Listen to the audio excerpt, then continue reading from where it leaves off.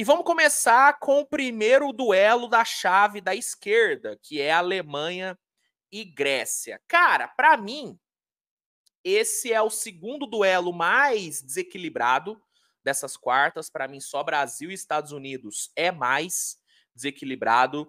É, na minha visão, a Alemanha é muito, mas assim, muito melhor do que a Grécia. Muito melhor, é muito favorita.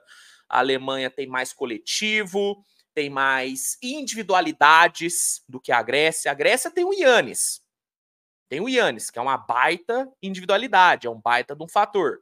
Só que a Alemanha tem o Schroeder, que no basquete FIBA vira Deus, tem o Andreas Obst, tem Franz Wagner, tem Mo Wagner, tem Daniel Tais, sabe? Tem muito mais individualidades capazes de definir um jogo. Então, é, eu acho a Alemanha um time muito melhor, é um time que, cara, tem um entrosamento muito, muito grande, é um time que já joga junto há um bom tempo, é um time que foi campeão da Copa do Mundo, fez uma, uma fase de grupos impecável, impecável, venceu muito bem o Japão, venceu bem o Brasil e amassou a França no último jogo. Confiança dos caras está lá em cima. Então, para mim, é, é Alemanha por muito aqui, viu?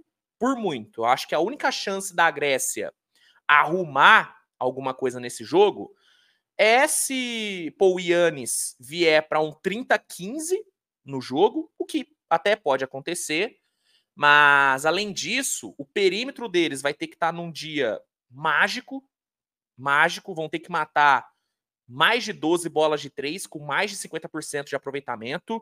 E o Thomas Walkup, que é o principal defensor de perímetro deles, vai ter que dar um jeito de anular o Dennis Schroeder.